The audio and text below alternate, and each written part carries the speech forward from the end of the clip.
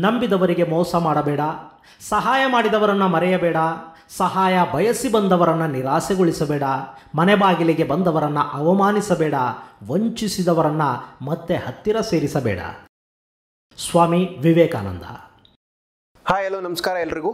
ಇವತ್ತಿನ ಎಪಿಸೋಡಲ್ಲಿ ನಾನು ಹೇಳ್ದಂಗೆ ಫೋರ್ತ್ ಚಾಪ್ಟರ್ನ ಸ್ಟಾರ್ಟ್ ಮಾಡ್ತೀನಿ ಅಂತ ಹೇಳಿದೆ ಲಾಸ್ಟ್ ಟೈಮು ಸೊ ಅದರಂತೆಯೇ I am going to start with chapter number four so chapter number ಫೋರಲ್ಲಿ ಏನು ಹೇಳ್ತಿದೆ ಅಂತಂದ್ರೆ reconstitution of a partnership firm retirement or death of a partner ಅಂದ್ರೆ, ಈ ಒಂದು ರೀಕಾನ್ಸ್ಟಿಟ್ಯೂಷನ್ ಆಫ್ ಎ ಪಾರ್ಟ್ನರ್ಶಿಪ್ ಫಾರ್ಮಲ್ಲಿ we going to learn about retirement ಒಂದು ಎರಡನೇದು ಬಂದು ಡೆತ್ ಆಫ್ ಎ ಪಾರ್ಟ್ನರ್ ಓಕೆನಾ so retirement of a partner ನಾವು ಫಸ್ಟು ಫೋಕಸ್ ಮಾಡೋಣ and let us complete it ನಂತರ ನಾವು ಡೆತ್ ಆಫ್ ಎ ಪಾರ್ಟ್ನರ್ಗೆ ಬರೋಣ.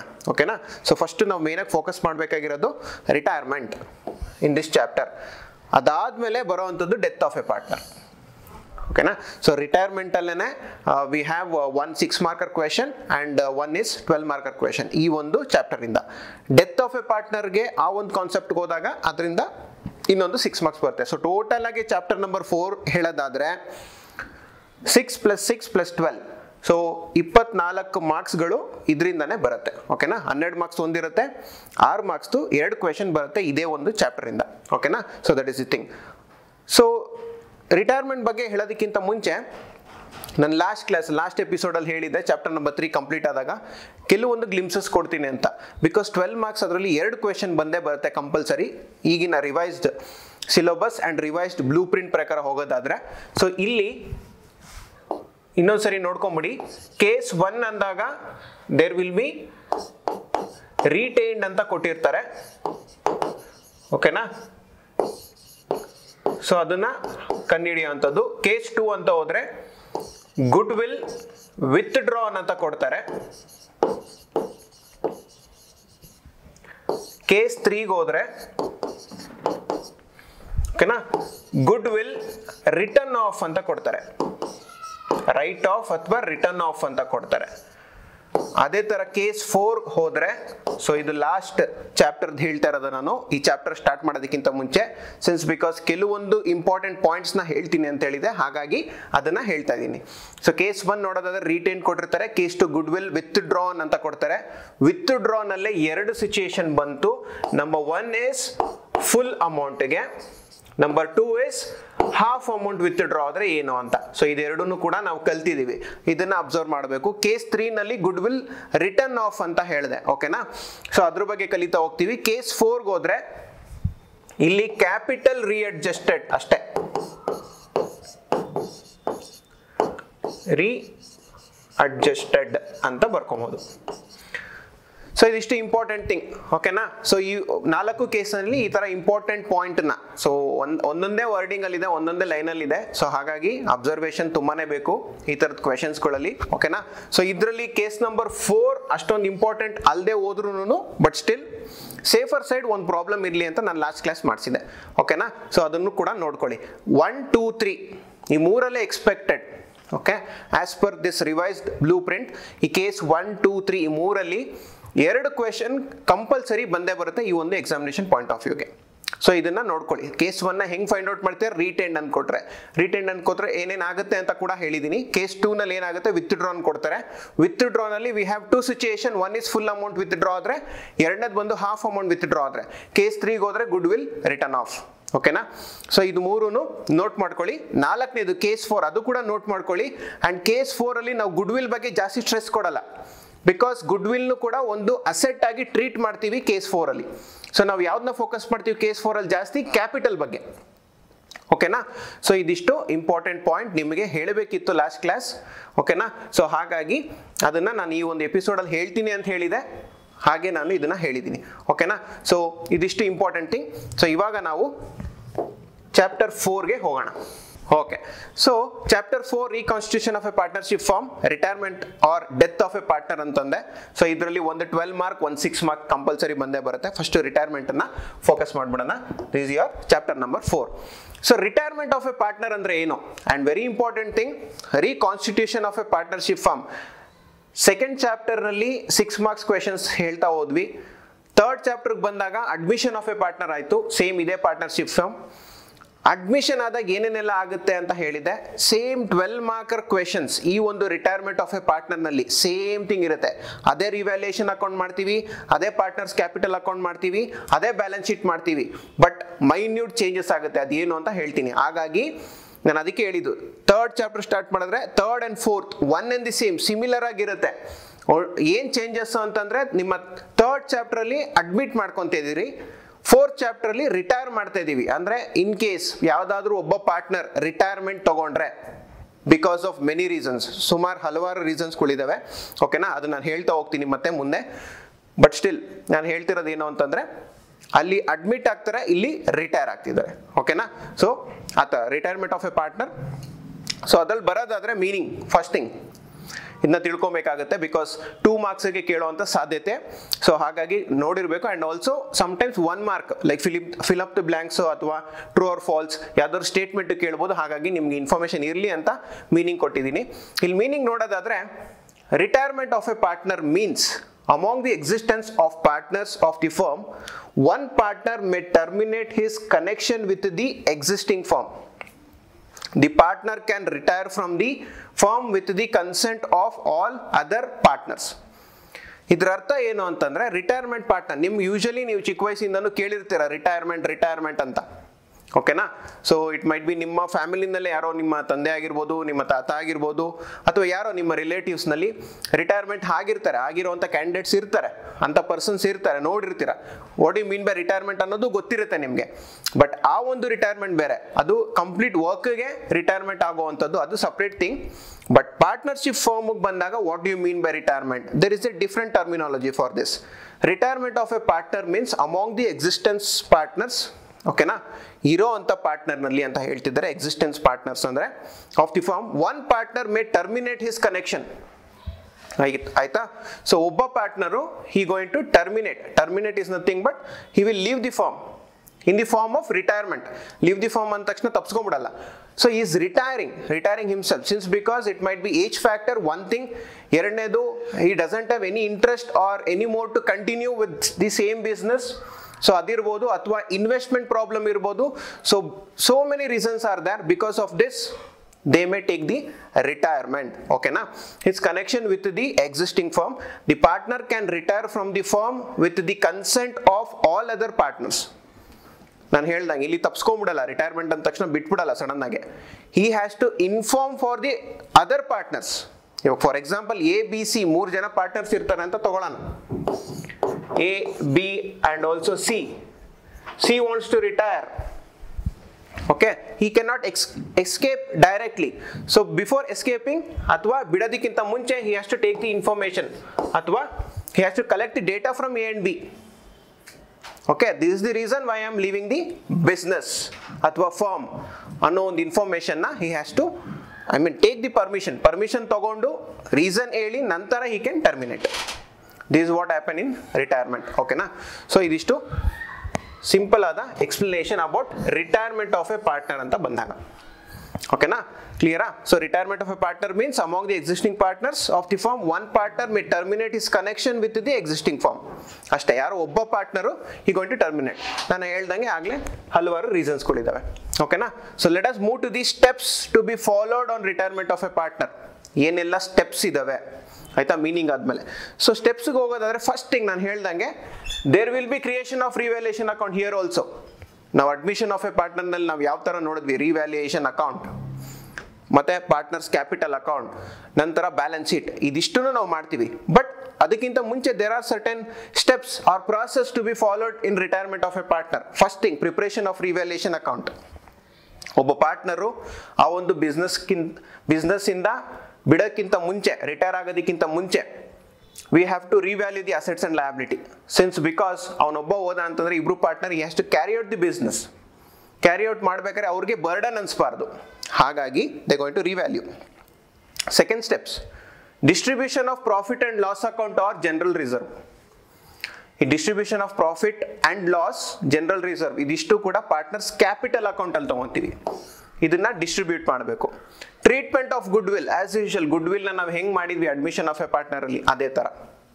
ಅದಾದ್ಮೇಲೆ adjustment of continuing partners capital account on the basis of new profit sharing ratio N P S R even last ಚಾಪ್ಟರ್ನಲ್ಲೂ ಈ N P S R ಬಗ್ಗೆ calculate ಮಾಡಿದ್ವಿ. Even this chapter also we going to calculate new profit sharing ratio okay adjustment of continuing partners capital account on the basis of N P S R ಇದನ್ನು ಮಾಡ್ತೀವಿ. ನಂತರ preparation of the balance sheet after retirement ಓಕೆನಾ? Finally we have to prepare the balance sheet ಇದಿಷ್ಟು ಆದಮೇಲೆ. ಕ್ಲಿಯರಾ so ಒಂದು revaluation account ಮಾಡ್ತೀವಿ ಎರಡನೇ ಪಾರ್ಟರ್ಸ್ ಕ್ಯಾಪಿಟಲ್ ಅಕೌಂಟ್ ಮಾಡ್ತೀವಿ, ಅದಾದ್ಮೇಲೆ ಬ್ಯಾಲೆನ್ಸ್ ಶೀಟ್ ಮಾಡ್ತೀವಿ. But in a concluding way ಇವರು ಸ್ವಲ್ಪ ಡಿಫ್ರೆಂಟ್ ಆಗಿ ಎಕ್ಸ್ಪ್ಲೇನ್ ಮಾಡಿದಾರೆ ಅಷ್ಟೇ. So these are the steps ನಾವೇನೇನು follow ಮಾಡ್ತೀವಿ.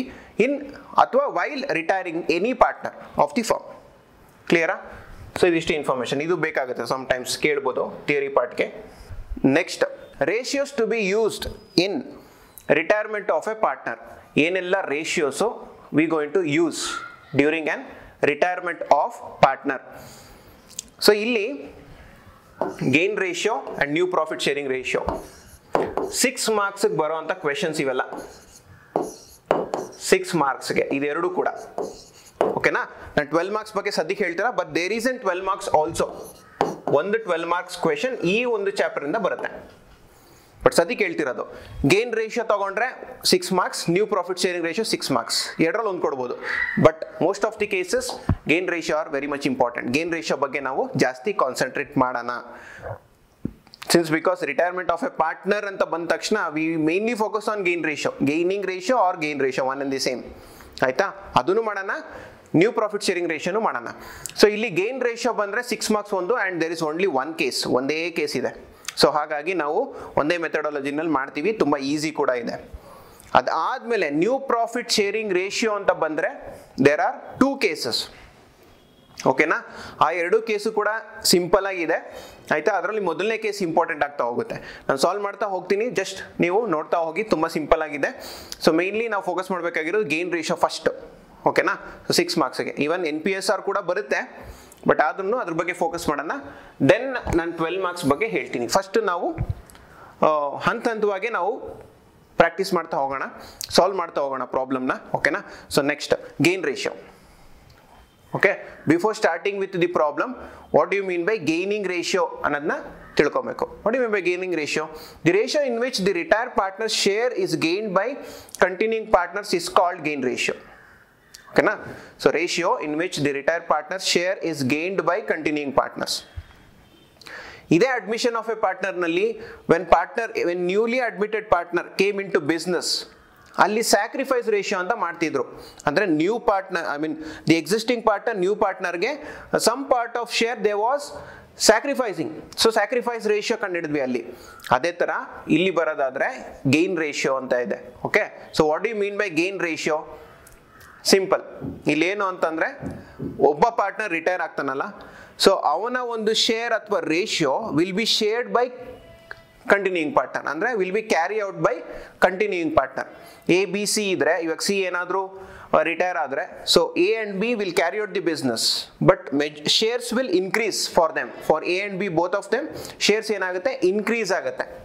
ಓಕೆನಾ since because they have to continue ಆದರೆ ಇದರ ಸ್- ಅರ್ಥ. ಓಕೆನಾ gaining ratio is nothing but the ratio in which the retire partner share is gained by continuing partners is called gain ratio it can be calculated using the following formula there is a formula also ಏನು ಅಂತಂದ್ರೆ ಒಂದು gain ratio is equal to N P S R minus O P S R ಅಷ್ಟೇ simple so new profit sharing ratio minus old profit sharing ratio is the formula for your gaining ratio ಅಥವಾ gain ratio ಕ್ಲಿಯರಾ okay fine so ಈ ಫಾರ್ಮುಲಾನ ನೋಡ್ಕೊಳ್ಳಿ, ಬೇಕಾಗುತ್ತೆ ತುಂಬ important problem solve ಮಾಡಬೇಕಾದ್ರೆ. ಓಕೆನಾ fine so calculation of gain ratio ನಾನು ಆಗಲೇ ಹೇಳ್ದಂಗೆ ಇದ್ರಲ್ಲಿ ಬರೋದು ಒಂದೇ case this is the only one case which you have to calculate gain ratio so ನಾವು ಅಡ್ಮಿಷನ್ ಆಫ್ ಎ ಪಾರ್ಟ್ನರಲ್ಲಿ ಎರಡು ಕೇಸ್ ಮಾಡಿದ್ವಿ while calculating the sacrifice ratio so gain ರೇಷಿಯೋಗೆ ಬಂದಾಗ there is only one case that is when old profit sharing ratio and new profit sharing ratio are given ಗೊತ್ತಾಯ್ತಾ? ಇಲ್ಲಿ ಎರಡೂ ಕೊಟ್ಟಿರ್ತಾರೆ. ಒಂದು ಓಲ್ಡ್ ಪ್ರಾಫಿಟ್ ಎರಡನೇದು ನ್ಯೂ ಪ್ರಾಫಿಟ್ ಎರಡೂ ಕೊಟ್ಟಾಗ ಹೆಂಗ್ ಸಾಲ್ವ್ ಮಾಡ್ತೀವಿ ಅನ್ನೋದು case number one and there is only one case to solve the gain ratio ಆಯ್ತಾ? ನೆನ್ಪಿಟ್ಕೊಳ್ಳಿ. ಈಸಿ ಕೂಡ ಇದೆ. ಓಕೆನಾ so question number one so ಕೆಳಗಡೆ ಕೇಸ್ ನಂಬರ್ ಒನ್ ಅಲ್ಲಿ ಕ್ವೆಶನ್ ಕೂಡ ಹಾಕಿದ್ದೀನಿ. Observe it A comma B and C are partners so ಮೂರು ಜನ ಪಾರ್ಟ್ನರ್ಸ್ ಇದ್ದಾರೆ and the ratio is five is to three is to two ಇದನ್ನ old ratio ಅಂತ ಕರಿ, ಕರಿತೀವಿ. ಸೊ ಫಸ್ಟ್ ಲೈನಲ್ಲೇ ಏನು ರೇಷಿಯೋ ಬರುತ್ತೆ? ಎಕ್ಸ್ಪೆಷಲಿ ಮೂರು ಜನಕ್ಕೂ ಮೂರು ರೇಷಿಯೋ ಇರುತ್ತಲ್ಲ, ಮೂರು different ratios that we call it as old ratio ಅದಾದಮೇಲೆ B retired the new profit sharing ratio between A and C is agreed to be seven is to three ಓಕೆನಾ so ಇದನ್ನ new ratio ಅಂತ ಕರಿತೀವಿ. So ಅದು ಬಂದು old ratio and this is one is new ratio calculate gain ratio ಕ್ಲಿಯರಾ so this is all about the information about the question ನಾವು calculate ಮಾಡಬೇಕಾದ್ರೆ I mean case ಒನ್ನಲ್ಲಿ ಅವರೇ ಹೇಳ್ದಂಗೆ ನಮಗೆ ಓಲ್ಡ್ ರೇಷಿಯೋ ಬೇಕು, ಇನ್ನೊಂದು ನ್ಯೂ ರೇಷಿಯೋ ಬೇಕು. ಕೊಟ್ಟಿದ್ದಾರಲ್ವಾ ಸೊ ಸಾಲ್ವ್ ಮಾಡೋಣವಾ? ಹೆಂಗೆ ಅಂತ ನೋಡೋಣವಾ? ವೆರಿ ಸಿಂಪಲ್ ನಾನು ಹೇಳೋದು ನಾನು ಏನು ಮಾಡ್ತೀನಿ ಅದನ್ನು ಜಸ್ಟ್ ಅಬ್ಸರ್ವ್ ಮಾಡ್ತಾ ಹೋಗಿ very simple thing solution start ಮಾಡೋಣ first given information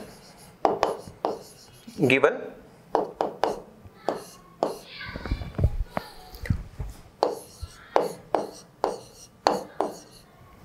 old profit sharing ratio ಕೊಟ್ಟಿದ್ದಾರೆ. ಕರೆಕ್ಟ್ ಅಲ್ವಾ? ದಟ್ ಈಸ್ ಫೈವ್ ಇಷ್ಟು ತ್ರೀ ಇಷ್ಟು ಟು ನಾನು ಆವಾಗಲೇ ಮಾರ್ಕ್ ಮಾಡಿದೆ ಅಲ್ಲ ಫಸ್ಟ್ ಲೈನಲ್ಲ ಇದೆ ಅಂತ. So this is the old profit sharing ratio given information five is to three is to two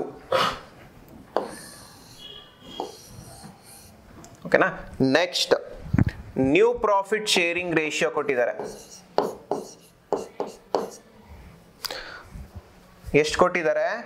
ಇಲ್ಲಿ ಕೊಟ್ಟಿದ್ದಾರೆ ನೋಡಿ N P S R is seven is to three ತಗೊಳ್ಳಿ. ನೆಕ್ಸ್ಟ್ ಏನು ಮಾಡಬೇಕು ಅಂದರೆ ಫಾರ್ಮುಲಾ ಅಪ್ಲಿಕೇಶನ್ ಅಷ್ಟೇ. ಇದೆರಡು ಇನ್ಫಾರ್ಮೇಶನ್ ಇದ್ದಾಗ what we have to do formula apply ಮಾಡಬೇಕು.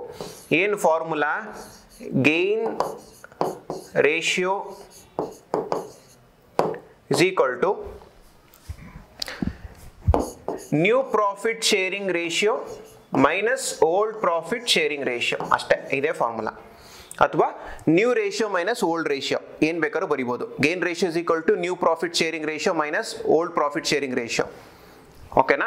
ಅಥವಾ new ratio minus old ratio anything is fine ಓಕೆನಾ? So that is the formula for gain ratio and ಇಲ್ಲಿ ವೆರಿ ಇಂಪಾರ್ಟೆಂಟ್ ಥಿಂಗ್ ಯಾರು ರಿಟೈರ್ ಆಗ್ತಿದ್ದಾರೆ ಅಂತ ನೋಡಬೇಕು. Who is retiring here B correct ಅಲ್ವಾ? B is the retiring partner ಇಲ್ಲಿ B retire ಆಗ್ತಿದ್ದಾನೆ. So remaining partner will be A and C so ಇವಾಗ A ಮತ್ತೆ ಸಿಗೆ ಬರೋವಂಥ ಗೇನ್ ರೇಷಿಯೋ ಎಷ್ಟು ಅನ್ನೋದು ಕ್ಯಾಲ್ಕುಲೇಟ್ ಮಾಡಬೇಕು. ಓಕೆನಾ? ಸೊ ಇವಾಗ ಎ ಮತ್ತೆ ಸಿಗೆ ಮಾತ್ರ ಕ್ಯಾಲ್ಕುಲೇಟ್ ಮಾಡಬೇಕು. So A equals new profit ಬಂದು seven by ten minus old ratio ಬಂದು five plus three plus two so ಟೆನ್ನೇ ಬರುತ್ತೆ divided by ten but for A is five correct ಅಲ್ವಾ? ಫೈವ್ ಬೈ ಟೆನ್ ಗೊತ್ತಾಯ್ತಾ ಇದು ಹೆಂಗೆ ಬಂತು ಅಂತ? So new ratio is nothing but seven plus three which is nothing but ten so seven by ten for A ಅದೇ ಥರ five by ten for A that is your old ratio ಇಲ್ಲಿರೋ ಅಂಥದ್ದು ಇದು ಮೂರನ್ನು ಆ್ಯಡ್ ಮಾಡಿದ್ರೆ ನಿಮಗೆ ten ಬರುತ್ತೆ. Keep it denominators but five is the A's ratio ಕ್ಲಿಯರಾ ಕಂಟಿನ್ಯೂ ಮಾಡಿದ್ರೆ. Ten is the common factor keep it in the denominator. ಆಯ್ತಾ? ಟೆನ್ ಕಾಮನ್ ಫ್ಯಾಕ್ಟರ್ ಆಗಿರೋದ್ರಿಂದ ಅದನ್ನ ಹಾಗೆ ಡಿನಾಮಿನೇಟರ್ ಇಟ್ಕೊಳ್ಳಿ. ಇದನ್ನು ಹಿಂಗೆ ತಗೊಳ್ಳಿ. ಒನ್ ಝಾ ಒನ್ ಝ ರೈಟ್ ಸೊ ಒನ್ ಸೆವೆನ್ ಝ seven minus one five ಝ five which is equal to two by ten so ಎದು ಮುಗೀತು. ಅದೇ ಥರ ಸೀದ್ ಮಾಡೋಣ.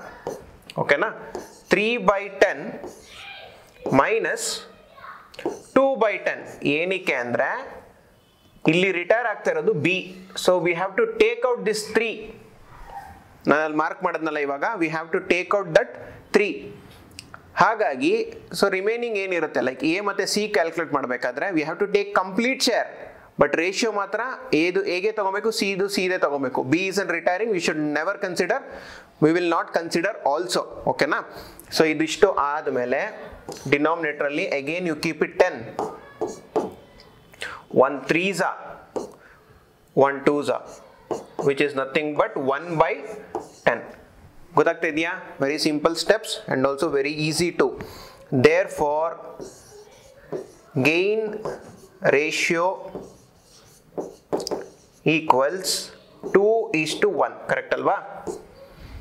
ಇಲ್ಲಿರೋವಂಥ two ಇಲ್ಲಿರೋವಂಥ one we have consider as ratio ಕ್ಲಿಯರಾ so once again I explain gain ratio ಕ್ಯಾಲ್ಕುಲೇಷನಲ್ಲಿ there is only one case ಒಂದೇ case ಇದೆ which is nothing but when they have given information about old profit sharing ratio and new profit sharing ratio ಏನು ಮಾಡಬೇಕು ಅಂತ? ಓಕೆನಾ so gain ratio equals N P S R minus O P S R formula ಕೂಡ ಕೊಟ್ಟಿದ್ದೀನಿ. ಅದಾದಮೇಲೆ A equals seven by ten minus five by ten which equals seven minus five by ten ಹೆಂಗೆ ಬಂತು ಅಂತ ನಾನು ಸಿಂಪ್ಲಿಫೈ ಕೂಡ ಮಾಡಿ ತೋರಿಸ್ದೆ. ಓಕೆನಾ ಕ್ಲಿಯರಾ ಸೊ ಟೂ ಬೈ ಟೆನ್ ಬಂತು. ಸಿ ಇದು ಅದೇ ಥರ three by ten minus two by ten ಓಕೆನಾ ಸೊ ತ್ರೀ ತಗೊಂತಿಲ್ಲ. ಮದ್ದಿದ್ದು ನಾನು ರೌಂಡ್ ಆಫ್ ಕೂಡ ಹಾಕಿದ್ದೀನಿ ಒ ಪಿ ಎಸ್ ಅಲ್ಲಿ since because he's person we are retiring right ನಾವು ಕ್ಲಿಯರಾ ಸೊ ಟೂ ಇಷ್ಟು ಒನ್ ಗೇನ್ ರೇಷೋ ಬರುತ್ತೆ. ಕ್ಲಿಯರಾ ಫೈನ್ ಓಕೆ ಸೊ ಇನ್ನೊಂದು ಪ್ರಾಬ್ಲಮ್ ಮಾಡೋಣ.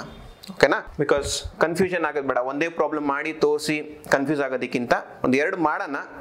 ಸೊ ಸಾಧ್ಯವಾದರೆ ಒಂದು ಅಸೈನ್ಮೆಂಟ್ ಆಗಿ ಕೊಡ್ತೀನಿ. ಓಕೆನಾ?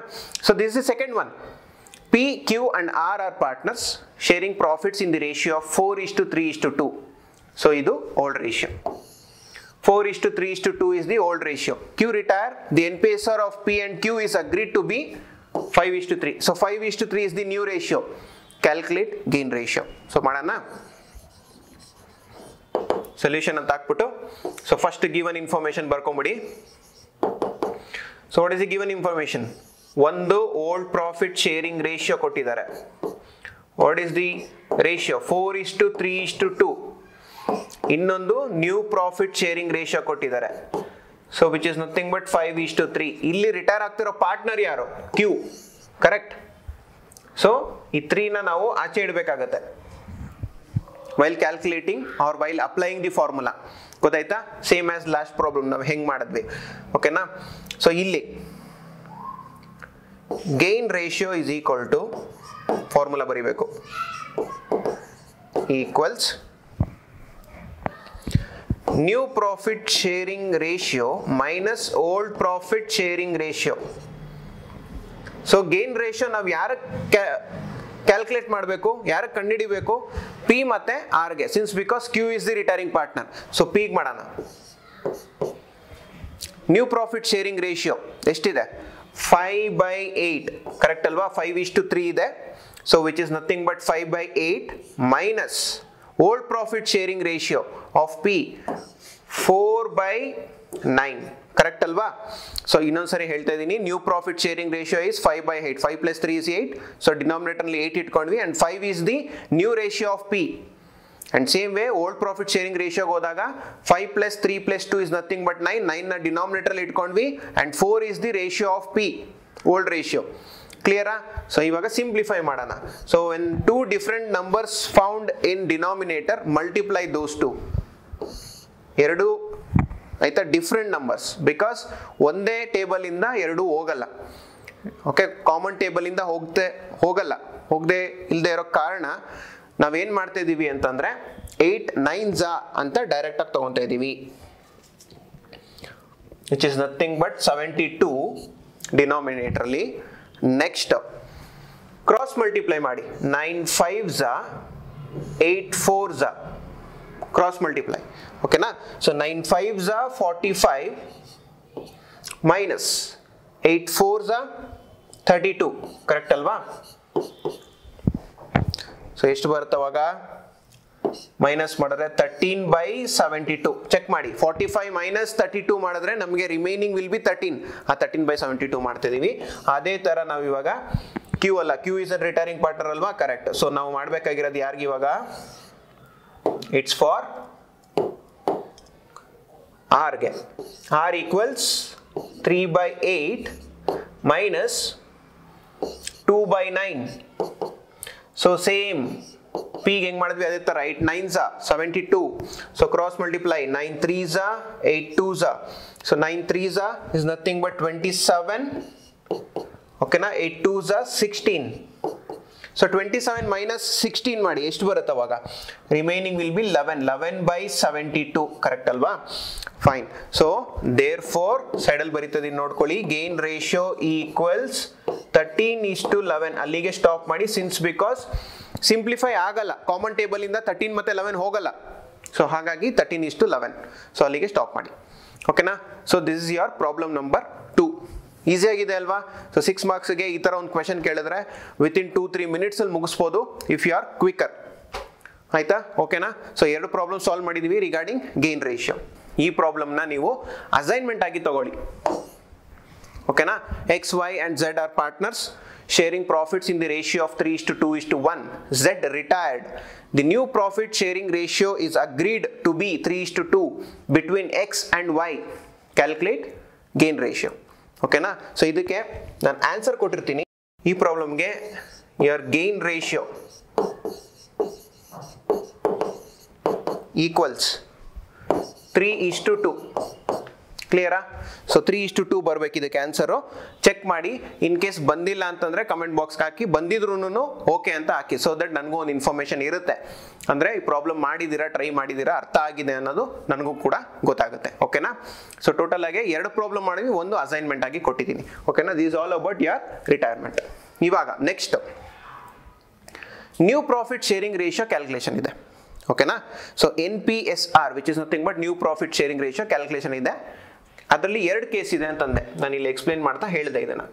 ಹಾಂ, ಇಲ್ಲಿ ನೋಡಿ. ಗೇನ್ ರೇಷೋ ಇಸ್ ಡನ್ ಇವಾಗ ಸದ್ಯಕ್ಕೆ ನಾನು ಈ ಒಂದು ಕ್ಲಾಸ್ನಲ್ಲಿ ಗೇನ್ ರೇಷಿಯೋ ಬಗ್ಗೆ ನಾನು ನಿಮಗೆ ಹೇಳ್ಕೊಟ್ಟೆ. ನಾನು ಅವಾಗಲೇ ಹೇಳ್ದಂಗೆ ಇದರಲ್ಲಿ ಇರೋದು ಒಂದೇ case there is only one case ಓಕೆನಾ? And also it is very easy since because ನಿಮಗೆ ಈ ಫಾರ್ಮುಲಾ ಗೊತ್ತಿತ್ತು ಅಂತಂದರೆ ಕ್ವೆಶನಲ್ಲಿ ಅವರೇ ಇನ್ಫಾರ್ಮೇಷನ್ ಕೊಟ್ಟಿರ್ತಾರೆ about old ratio and new ratio ಅಲ್ಲಿ ಯಾರು ರಿಟೈರ್ ಆಗ್ತಿದ್ದಾರೆ, ಅವ್ರದ್ದೊಂದು ರೇಷಿಯೋ ಮಾತ್ರ ಕನ್ಸಿಡರ್ ಮಾಡಬಾರ್ದು when you are taking for old ratio new ratio as usual continuing ಪಾರ್ಟ್ನರ್ಸ್ಗೆ ಇರುತ್ತೆ. ಕ್ಲಿಯರಾ ಸೊ ನೆಕ್ಸ್ಟ್ ನಾವು ಮಾಡಬೇಕಾಗಿರೋದು ನ್ಯೂ ಪ್ರಾಫಿಟ್ ಶೇರಿಂಗ್ ರೇಷಿಯೋ ಆ ಒಂದು ಪಾರ್ಟ್ಗೆ ಹೋಗೋದಕ್ಕಿಂತ ಮುಂಚೆ, ಕೆಲವೊಂದು ಪಾಯಿಂಟ್ಸ್ ಇದೆ ರಿಟೈರ್ಮೆಂಟ್ ಆಫ್ ಎ ಪಾರ್ಟ್ನರಲ್ಲೂ ಕೂಡ. ಓಕೆನಾ like so of the fill in the blanks ಕೇಳ್ಬೋದು ಅಥವಾ ಟ್ರೂ ಆರ್ ಫಾಲ್ಸ್ ಕೇಳ್ಬೋದು. ಹಾಗಾಗಿ ನಾನು ಏನು ಮಾಡಿದ್ದೀನಿ ನಿಮಗೆ ಅಂದರೆ, ಈ ಮೀನಿಂಗ್ ಕೊಟ್ಟಿದ್ದೀನಿ. ಇದರಲ್ಲಿ ಕೂಡ ಕೆಲವೊಂದ್ಸರಿ ಕಟ್ ಮಾಡಿ ಫಿಲ್ ಇನ್ ದ ಬ್ಲಾಂಕ್ಸ್ ಅಥವಾ ಟ್ರೂ ಆರ್ ಫಾಲ್ಸ್ ಕೇಳ್ಬೋದು. ಓಕೆನಾ ಪಾಯಿಂಟ್ ನಂಬರ್ ಒನ್ ಇದನ್ನು ಅಬ್ಸರ್ವ್ ಮಾಡಿ ಮೀನಿಂಗ್ನ ಹಾಗಾಗಿ ನಾನು ಏನು ಇಂಪಾರ್ಟೆಂಟ್ ಇದೆ ಅದಷ್ಟನ್ನೇ ಮಾತ್ರ ಮಾಡಿರ್ತೀನಿ. ಎರಡನೇ ಲೈಕ್ ಥರ್ಡ್ ಸ್ಲೈಡ್ ಅಥವಾ ಸೆಕೆಂಡ್ ಸ್ಲೈಡ್ಗೆ ಬರೋದಾದ್ರೆ steps to be followed on retirement of a partner ಏನೇನೆಲ್ಲ ಸ್ಟೆಪ್ಸ್ ಇದಾವೆ? ಇದನ್ನು ಕೂಡ ಕೊಟ್ಟಿದ್ದೀನಿ ಇದನ್ನ ಹೆಂಗೆ ಕೇಳ್ತಾರೆ ನಿಮಗೆ ಸಮ್ಟೈಮ್ಸ್ ಟೂ ಮಾರ್ಕ್ಸ್ ಅಲ್ಲಿ ಅಂತಂದ್ರೆ mention any two steps to be followed in retirement of a partner ಅಥವಾ mention all the steps okay to be followed in retirement of a partner ಅಂತ ಕೇಳ್ಬೋದು. ಓಕೆ ಇದೆರಡು ಸಿಚುಯೇಷನ್ ಬರುವಂಥ ಚಾನ್ಸಸ್ ಇದಾವೆ. ಹಾಗಾಗಿ ಇದನ್ನು ಕೂಡ ಕೊಟ್ಟಿದ್ದೀನಿ. ಥಿಯರಿ ಪಾರ್ಟ್ ಕೂಡ ಎಕ್ಸ್ಪೆಕ್ಟ್ ಮಾಡ್ಬೋದು ಈ ಒಂದು ಚಾಪ್ಟರ್ ಇಂದ. ಹಾಗಾಗಿ ನಾನು ಹೇಳ್ತಾ ಇದ್ದೀನಿ. ಅದು ಬಿಟ್ಟರೆ ಮೂರನೇದು, ಏನು ಎಕ್ಸ್ಪೆಕ್ಟ್ ಮಾಡ್ಬೋದು ಅಂದರೆ ಒಂದು formula to be return for gain ratio one marks ಕೇಳ್ಬೋದು. What is the formula for gain ratio ಎರಡನೇದು ಗೇನ್ ರೇಷಿಯೋ ಮೀನಿಂಗ್ ಅಂದ್ರೆ ಏನು ಅಂತ ಕೇಳ್ಬೋದು. ಓಕೆನಾ ಗೇನ್ ರೇಷಿಯೋ ಮೀನಿಂಗ್ ಅಂತ ಕೇಳ್ಬೋದು? So this is the meaning of gain ratio ಇಲ್ಲಿ ಕೊಟ್ಟಿದೆ ನೀಟಾಗಿ ಓದ್ಕೊಳ್ಳಿ. ಓನ್ಲಿ ಟೂ ಸೆಂಟೆನ್ಸ್ ಓಕೆನಾ ಸೊ ಹಿಂಗಿರುತ್ತೆ. ಹಾಗಾಗಿ, ಇದಿಷ್ಟು ಕ್ಲಿಯರ್ ಕಟ್ ಆಗಿ ಓದ್ಕೊಳ್ಳಿ. ಸೊ ನಾವು ನೆಕ್ಸ್ಟ್ ಕ್ಲಾಸಲ್ಲಿ ಈ ಪ್ರಾಬ್ಲಮ್ ಅಸೈನ್ಮೆಂಟ್ ಆಗಿ ಕೊಟ್ಟಿದ್ದೀನಿ ಫಸ್ಟ್ ಆಫ್ ಆಲ್ ಇದನ್ನ ಮಾಡಿ ಕಮೆಂಟ್ ಬಾಕ್ಸ್ ಹಾಕಿ ತ್ರೀ ಇಷ್ಟು ಟು ರೇಷಿಯೋ ಬರುತ್ತಾ ಇಲ್ವಾ ಅಂತ ಹಾಕಿ ಹಾಕಿ ಓಕೆನಾ ಸೊ ದಟ್ ನನಗೂ ಒಂದು ಕನ್ಫರ್ಮೇಷನ್ ಇರುತ್ತೆ. ಹಾಗಾಗಿ ಇದನ್ನ ಅಸೈನ್ಮೆಂಟ್ ಆಗಿ ತಗೊಳ್ಳಿ. ನಾನು ನೆಕ್ಸ್ಟ್ ಎಪಿಸೋಡಲ್ಲಿ ನಿಮಗೆ ನ್ಯೂ ಪ್ರಾಫಿಟ್ ಶೇರಿಂಗ್ ರೇಷಿಯೋನ ಹೇಳ್ಕೊಡ್ತೀನಿ. ಓಕೆನಾ ಥ್ಯಾಂಕ್ ಯು ವಿಡಿಯೋ ವಾಚ್ ಮಾಡಿದ್ದಕ್ಕೆ.